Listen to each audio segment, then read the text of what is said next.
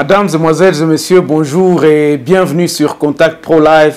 Très heureux encore une fois de plus de me retrouver devant vous pour un nouveau numéro où euh, nous allons encore parler de notre chère République démocratique du Congo.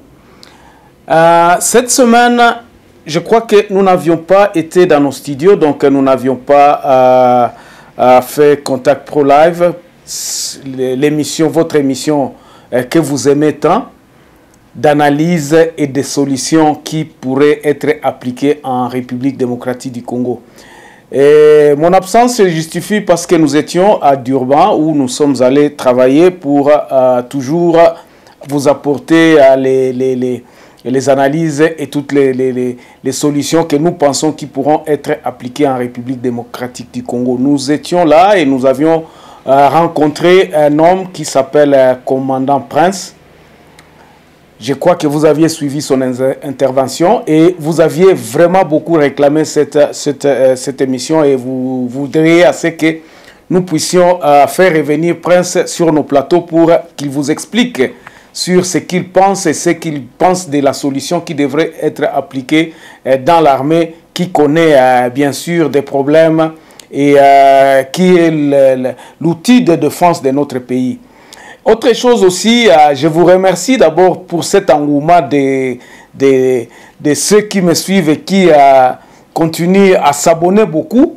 Vous êtes nombreux cette semaine à vous avoir abonné parce que vous aviez compris, j'espère, le pourquoi de notre émission et la, la, la, perspicacité de nos, de, de, de nos solutions. Et je pense que cela nous fait du bien et cela nous rassure à ce que nous puissions produire davantage cette émission pour continuer à expliquer la quintessence même de ce que nous appelons la rétrocession du pouvoir au niveau de la base. Et c'est ça qui nous anime tous les jours en nous disant, si la base a cette autorité, et si la base est, considérée par... Nous, nous considérons cette base-là comme un outil qui devra nous apporter la solution. Parce que dans toutes les bouches, vous entendrez que le peuple ne fera que se libérer. Le peuple doit se libérer. Mais ce peuple-là, c'est qui? C'est le peuple, euh, au, au, commencement, le peuple à la base. Ce qui constitue la nation congolaise, c'est celle-là qui devra se libérer. Et nous nous disons ici, si nos politiciens qui veulent diriger ce pays ne savent pas comment réorganiser cette, base pour qu'elle puisse se prendre en charge, tout ce qu'ils diront ne, ne, serviront à rien. Ils ne serviront que les géniteurs qui les mettent à cette place-là de président ou bien de dirigeant de ce pays. Ce pays devra être dirigé par ses propres enfants, ses propres individus qui devront être choisis par eux-mêmes, qui devront être considérés que ce sont là le patron de ce pays. Tant que nous éloignerons la base dans nos décisions, dans la considération même de la gestion de notre pays, il n'y a rien qui changera. Alors, aujourd'hui, nous parlons de quoi?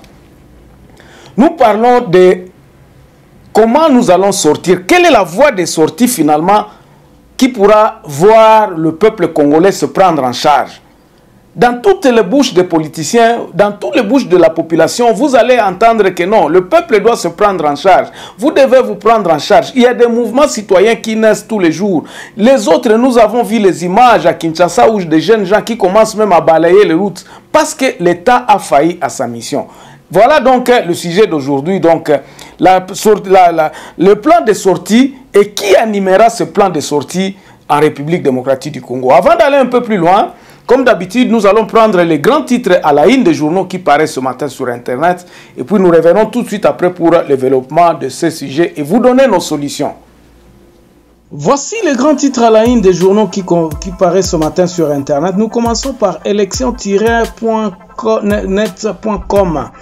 Martin Fayoulou dénonce une infiltration du Rwandais au sommet de l'État. Le Kenya va dépenser 37 millions de dollars pour envoyer ses troupes en RDC. Et puis, euh, à la fin, Nord Kivu, près de 200 000 euh, déplacés suite au combat entre l'Allemagne et le M23. On va sur actualité.cd. Violence communautaire au Kwilu, une trentaine d'assaillants arrêtés présentés aux autorités. RDC M23, 9 écoles occupées par le déplacé dans le Niragongo, le cours suspendu. On va sur Congo profond. conflit Tekeyaka, 40 assaillants dans le filet des forces de sécurité à Bandundu. Et puis à FARDC, très motivé, près de 250 jeunes de l'Itourie s'engagent dans l'armée pour défendre la patrie. On va sur 7 sur 7. Kinshasa, Didier Boudimbu et Puis Mabulu ordonnent la démolition des stations de service qui ne répondent pas aux normes. Enrôlement des électeurs, l'opération va débuter à Kinshasa, Congo central, Grand Bandundu et ex-Équateur. On va terminer sur Radio Okapi. Bunia, l'UNADI appelle l'aboutissement du processus de Nairobi. Sud Kivu, retrait de la MONUSCO du territoire de Chabunda. Merci, on se revoit prochainement dans un nouveau numéro. Au revoir. Alors, mes chers amis, la première des choses que nous nous considérons ici d'abord, qui doit être un plan de sortie, ça doit être, un, la réconciliation nationale. Comment est-ce que nous allons obtenir cette réconciliation nationale si nous ne nous considérons pas, si nous ne nous connaissons pas? C'est ça la question. le premier point, c'est la réconciliation nationale, le rétablissement de l'État, c'est-à-dire mettre de l'ordre dans cet espace-là qu'on appelle la République démocratique du Congo. Quel est cet ordre nouveau qui sera différent de tout ce que les autres ont fait depuis que nous sommes indépendants? Quel est cet ordre-là que nous pensons pourra résoudre finalement toutes les euh, bon, j'ai dit 90% de tous les problèmes que les Congolais connaissent. Mais dans tous les problèmes que nous connaissons, nous pensons effectivement qu'il y a un problème d'organisation interne qui fait des, gens qui sont aigris, les, les, autres personnes sont éloignées de la, de la gouvernance de ce pays. C'est ça la, la, voûte, c'est ça le, le principal question, mettre de l'ordre dans cet état. Mais comment nous allons y arriver? Donc, nous avons là, le premier point que je vous ai dit, c'était la réconciliation nationale. Comment allons-nous arriver à nous réconcilier, nous, peuple congolais? Et le deuxième point, c'est qui vont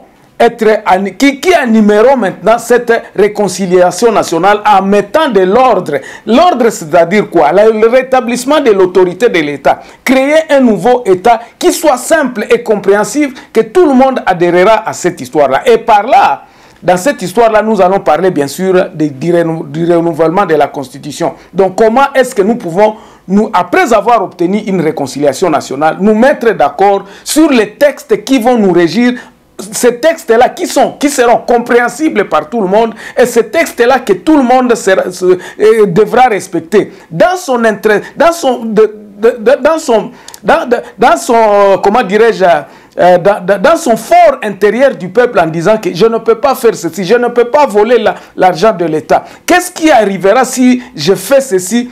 Et qu'est-ce que nous nous sommes entendus qu'un voleur, où il ira, comment il sera jugé? Et tout ça, nous avions dit ici à Contact Pro Live, c'est justement cette loi fondamentale, la Constitution. Commençons d'abord par le premier point, la réconciliation nationale. La réconciliation nationale, nous, prenons ça comme un mot comme ça, mais nous ne savons pas exactement ce qu'il y a là-dedans. Les contentes même de la, de la réconciliation nationale. Comment est-ce que nous pouvons obtenir de la réconciliation nationale? Et nous, nous avions dit qu'il est grand temps à ce que le dirigeant actuel prenne ça en conscience en disant sans la réconciliation nationale, il aura pas, on ne pourra pas mettre de l'ordre dans ce pays. La réconciliation nationale, ça veut dire quoi? C'est-à-dire que le peuple puisse s'accepter en se disant, nous, voici, nous habitons ici. Voici ce que nous, nous vivons ici. Ici, chez nous, nous ne mangeons pas de pigeons, nous ne mangeons pas de... Les, valeurs culturelles, les valeurs de chaque peuple dans là où il vit. Chaque peuple devra se sentir à l'aise là où il vit. Nous ne devrons pas être des étrangers dans nos propres territoires. C'est impossible. Nous ne pouvons pas continuer avec ce système de, de colonisateurs en pensant que moi, je vais faire tout pour vous moi je veux faire ceci pour vous. Nous devons apprendre à nous prendre en charge, c'est-à-dire que les gens dans les territoires, comme nous disions euh, dans nos projets de 145 territoires, parce que ça, c'est ça la solution en fait. Dans les territoires, les gens devront s'organiser tout autour d'eux-mêmes en se disant, voici comment nous allons organiser notre sécurité. Et c'est là est contraire justement parce que d'autres personnes sont en train de me dire que non, ça sera contraire, ça, va créer la division, ça va créer eh, la balkanisation du pays. Ne vous, vous n'êtes pas conscient vraiment que nous ne sommes pas divisés aujourd'hui. Nous ne parvenons pas à nous mettre ensemble parce que nous sommes tellement divisés. Chacun travaille pour soi, chacun pense à sa propre poche. Nous ne pensons plus aux communautés, nous ne pensons plus à, d'autres. Malgré les églises, malgré la parole de Dieu qui est vraiment prêchée dans notre pays, mais nous n'arrivons pas. Nous n'arrivons pas pourquoi? Parce que nous ne tenons pas compte de la communauté dans laquelle nous vivons. C'est ça le grand problème. Parce que nous ne connaissons pas, nous, nous avions été divisés, nous avions été mis chacun pour soi, Dieu pour tous. Les fonctions pour lesquelles moi j'accède, la première de penser c'est que ngai tourne ngai angoyo pona bongisa vie ngai. Or, nos vies ne nous arrêtent, on ne s'arrête pas maintenant. Il y a derrière nous, il y a des enfants. Quel est, le, quel, est ce pays que nous allons léguer à nos enfants? Quel est l'ordre que nous allons laisser? Bien sûr, nous sommes en train de vieillir, nous allons... La grande majorité de la population congolaise a beaucoup plus de, plus de 40 ans. Malgré qu'on dit qu'il y a c'est un pays jeune, il y a beaucoup de jeunes, mais c'est cette dynamique des gens qui sont au pouvoir aujourd'hui qui peuvent se dire ces jeunes-ci que nous allons laisser, nous devons les laisser. Voici comment nous allons les laisser. Comment est-ce qu'ils vont, ils, vont, ils vont s'organiser ou bien ils vont faire avancer le pays après nous? Dans le pays dans lequel nous sommes, ce n'est pas ceux qui les dirigent maintenant qui l'ont laissé ainsi. Ils ont trouvé un pays organisé, malgré toutes les histoires d'apartheid et tout ça. L'homme noir ici en Afrique du Sud, les politiciens en Afrique du Sud, les leaders d'opinion de cette, de cette Afrique du Sud ont fait assez que non, Demain, ça fera comment? Et c'est ça la question que nous devons nous préoccuper à résoudre. Notre préoccupation, ce n'est pas que nous mangeons euh, aujourd'hui et demain. Non, nous devons commencer à penser comment est-ce que nous allons manger pendant 40 ans, pendant 50 ans, pour que ceux qui viendront puissent aussi euh, commencer à, à prendre à partir de ce que nous avons laissé pour faire avancer le pays. La Chine est aujourd'hui ce qu'elle est aujourd'hui parce qu'il y a eu des gens qui se sont dit non, nous devons faire ceci pour que les générations futures puissent trouver un pays fort. Si l'Amérique est aujourd'hui ce qu'elle est, c'est parce qu'il y a des gens qui ont pensé que dans 50 ans, mes chers amis, voici comment est-ce que nous allons nous organiser pour que nous, nous ayons de cet ordre qui permettra à ce que notre pays évolue et être une puissance économique, militaire et tout ça. Et ils ont mis toutes ces idées-là en fonction. Mais aujourd'hui, en République démocratique du Congo, nous constatons directement que les gens qui arrivent les gens qui sont au pouvoir aujourd'hui ne pensent pas 10 ans, 15 ans. Ils pensent aujourd'hui, ils pensent comment ils vont se réjouir, comment est-ce qu'ils vont faire la fête? Comment est Nous, nous sommes un pays de jouisseurs. Quand on nous parle d'un pays de jouisseurs, c'est ça le problème. Le problème, c'est ça, parce que nous n'arrivons pas à nous dire quand est-ce que nous serons, une grande puissance? Nous, nous, copions les choses, nous pensons que les choses sont faites à la hâte, on peut organiser tout ça. Quelqu'un me disait un jour, disons dans euh, mes conversations avec les amis, Quelqu'un nous dit non, vous voyez ces routes, nous pouvons les construire chez nous, il n'y a pas de problème. Ce stade, ça, ce n'est qu'un ensemble de, de, que nous, nous avons au pays. Nous pouvons tout avoir, mais nous manquons tout. C'est ça qui se passe en République démocratique du Congo. Toza na biloko nyonso mais tozangi nyonso. Pona nini? Parce que toza organisé. Nous ne pensons pas à demain. Les institutions qui sont en République démocratique du Congo, regardez comment est-ce que les gens se, se centrent dedans. Notre parlement, est-ce que c'est vraiment encore un parlement? Ou bien comme Kaka, euh, scène à théâtre où les gens viennent s'injurier, ou bien, ou bien les gens viennent se, parler, euh, prendre de leurs affaires. Regardez ce qu'un bosso a fait à la dame euh, là. Vous, êtes sans ignorer. Ça, c'est. Ça, reflète justement nos mentalités, ça reflète ce que nous sommes exactement. Nous ne pensons pas à demain, on ne pense pas à faire des lois au Parlement, on ne pense pas à 10 ans, 15 ans. Qu'est-ce que les parlementaires sont en train de faire là au Parlement? Ça, on ne sait pas. On est là parce que c'est la constitution française qu'on a, a copiée. Il faut avoir un Parlement, il faut avoir des institutions. Il faut, Nous avons copié pratiquement ce qui se passe ailleurs. Mais nous ne connaissons pas l'intersecte. Comment ces gens-là font pour qu'ils aient de bonnes personnes à la, à, à, à, la, place qu'il faut? Nous ne connaissons pas ça. Nous ne nous intéressons pas à la reconstruction de notre pays sur nos bases culturelles sur nos bases qui est capable de dire que non, si un enfant est né au Congo, voici comment est-ce qu'il faut faire. Nous, continuons toujours à nous, à nous embrouiller dans des théories en disant que non, aux États-Unis ça se passe comme ça, au Nigeria c'est comme ça. C'est comme ça que nous devons faire, en oubliant justement notre valeur intrinsèque et nos valeurs culturelles. Alors, la solution c'est quoi aujourd'hui? C'est ça le, juste, le, le, vif du sujet. Le plan de sortie qui verra à ce que le Congolais finalement puisse comprendre que non, nous sommes obligés de nous mettre en ordre en mettant notre communauté d'abord en avant-garde. Quels sont les problèmes que nous devons résoudre? Le problème de l'État congolais. L'État congolais ne peut pas être fondé sur parce qu'en France on fait comme ça, c'est comme ça que nous nous allons faire. C'est comme ça que nous nous sommes dit. Dans la situation dans laquelle nous sommes, réveillons notre conscience en disant, commençons par le commencement. Et le commencement doit être comment? En appelant tous les enfants de chaque coin de se mettre ensemble en se disant nous sommes allés trop loin dans le bêtise. Nous sommes allés trop loin dans ce qui ne nous concerne pas.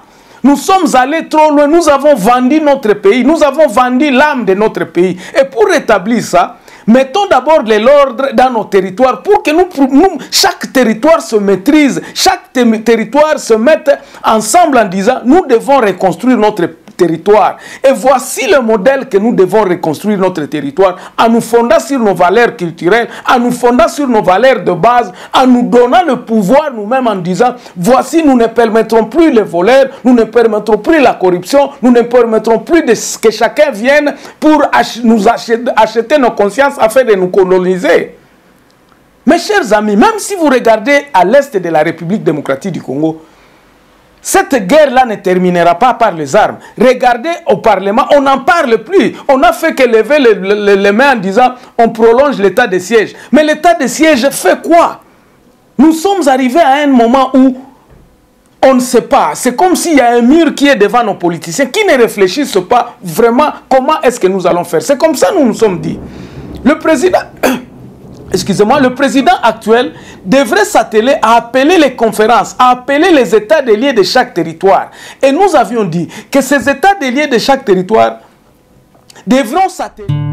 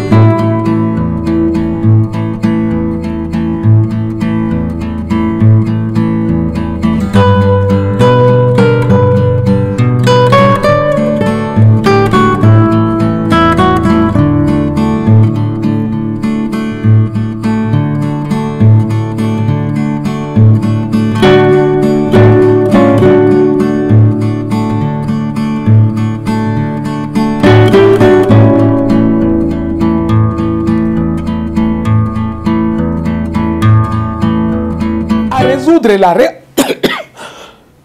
Excusez à résoudre le problème de la réconciliation de peuple au niveau des territoires. Et cela doit se passer dans le Barza, ça doit se passer dans des assemblées où le peuple se choisira, se dira, Bon, voici pour ce problème-là, pour nos communautés, voilà ce qui vont nous représenter là-bas et nous allons nous mettre d'accord comment est-ce que nous pourrons reconstruire notre territoire et être, être en premier plan, être l'acteur principal dans nos territoires. Et comment nous allons nous choisir? C'est là où nous disons que ces états de lieu de chaque territoire devront aboutir à la rélecture même de notre constitution. Nous devons relire notre constitution au niveau des territoires qui s'imprégnera, le peuple au niveau des territoires diront par exemple, nous ne pourrons pas léguer nos pouvoirs d'une manière quoi que va, que va, que. Non, nous devons nous organiser à ce que nous puissions d'abord nous élire un administrateur territoire, des gens qui feront que si nous avons l'argent, que les gens qui pourront organiser bien le territoire. Ne nous dites pas que non, il n'y a pas d'intellectuel, il n'y a pas d'accessibilité à, à d'autres territoires. Ça, c'est un faux problème. Parce que partout sur la République démocratique du Congo, il y a de l'exploitation économique, il y a des gens qui viennent, il y a des gens qui partent. ceux qui construisent leurs cases, il faut leur donner ce pouvoir-là. Alors, ces états de lieux-là auront comme mission la réconciliation du peuple au niveau des territoires. Et le résultat, pendant que ces états de lieux euh, se feront, ces comités-là d'état des états de lieux des territoires devront désigner des représentants pour identifier les populations qui regorgent sur leur territoire. Chaque territoire devra savoir en disant, nous, nous nous identifions, nous sommes par exemple à 300 000 personnes, 300 000 âmes. Et notre chef, et nos chefs coutumiers, et nos chefs de secteur, et nos chefs de, de, terre, voici, cette structure-là devra être euh, rétablie et mettre une administration quel est le travail que ces structures de base commenceront à faire afin d'organiser la population pour qu'ils ne se battent pas, pour que chacun de nous se reconnaisse, pour que nous ayons la sécurité dans les territoires? Ainsi, chaque territoire, après avoir fait ces, états de lieux-là, dégager une nouvelle réélecture. Quels sont les les attributions même des territoires et quelle est l'attribution que les territoires peuvent dire que non, nous devons faire ceci pour les provinces. C'est comme ça que les provinces vont se rendre. Et tous les atouts, tout ce qu'ils feront, ça ne sera qu'une réflexion profonde pour rétablir l'ordre même au niveau des territoires et transmettre cet ordre au niveau des territoires, des provinces et des provinces maintenant au niveau du gouvernement central. Je ne parle pas ici de fédéralisme ou de la décentralisation, mais nous devons réfléchir sur de bases solides qui sont assises sur nos communautés. Comment est-ce que nous, avons, nous allons satisfaire? Nous allons assurer la grandeur de nos communautés de base afin qu'ils puissent euh, prendre la relève, afin que dans 10 ans, ces gens-là puisse venir dans une structure qui est déjà faite. C'est comme ça que je disais que non. Nous, Congolais, nous sommes excellés à l'extérieur. Nous nous retrouvons comme ingénieurs par-ci, par-là. Nous, nous, excellons parce qu'il y a des structures de base qui, ont, qui sont solides et qui sont assises sur les réalités de là où nous sommes ici en Afrique du Sud. C'est ça qui fait assez que quand nous nous retrouvons ici, nous faisons ce que les autres ont laissé. Mais au pays, nous devons reconstruire tout ça. Et c'est par là que nous sommes dit, beaucoup de, politiciens qui veulent diriger la République démocratique du Congo ne connaissent pas ou bien sont téléguidés par les puissances étrangères ou bien les, soucis d'assouvir les gens qui leur disent non, là, le pouvoir ne peut être qu'à Kinshasa. Et lorsqu'on a capturé le pouvoir à Kinshasa, on nous colonise tous. C'est tout le Congo qui est devenu colonie parce que euh, c'est telle personne qui, qui, est téléguidée, il va faire ceci, il contrôle. Et le pouvoir n'est pas à la base. Imaginez-vous, par exemple, lorsque une industrie, par exemple, va être euh, donc construite, par exemple, dans le Lualaba, ce n'est pas le peuple Lualabé qui, qui, qui, qui, qui diront oui à cette histoire. Il ne connaît pas les tenants et les aboutissants de l'arrivage de cette euh, industrie dans leur territoire. Ça devrait être le contraire. Si nous avons un investisseur étranger qui veut venir exploiter nos, nos minéraux, la première des choses, c'est que le territoire sur lequel il doit être habité devra avoir les conditions par lesquelles, en se disant, nous acceptons, mais voici ce que nous nous faisons ici. Vous acceptez, c'est dès lors que la base pourra communiquer que nous, nous avions accepté ici, et ainsi, les redevances minières, et toutes ces histoires-là devront être respectées. Pourquoi? Parce qu'il a cet aval de la, du territoire, cet, cet aval du pouvoir au peuple à la base. C'est ça le grand problème que nous avons en, République démocratique du Congo. Donc, les États de lieu serviront à la réélecture de cette constitution aujourd'hui, à la corriger et pendant ce temps-là, résoudre le problème de nationalité, résoudre le problème de l'identification des Congolais au niveau de chaque territoire. Et ainsi, nous allons additionner pour savoir exactement l'État congolais a combien de personnes et qui sont ces personnes-là et elles sont où. Ça, ce sont les questions fondamentales que Kinshasa aujourd'hui ne s'attelle pas. Et même dans le parti politique, si on peut parler sous cet angle-là, nous ne voyons pas, nous ne voyons pas de parti politique qui se dit le grand problème de notre pays, c'est l'identification. Non, tout le monde se dit, moi je voudrais être président de la République, moi je voudrais conquérir le pouvoir. C'est tout ce parti politique. Il se base sur quoi? Il se base sur cet ambroglio qui règne en République démocratique du Congo et ils ne pensent qu'à eux-mêmes. Je n'ai pas encore vu un parti politique qui songe à former même les gens qui dirigeront le pays demain.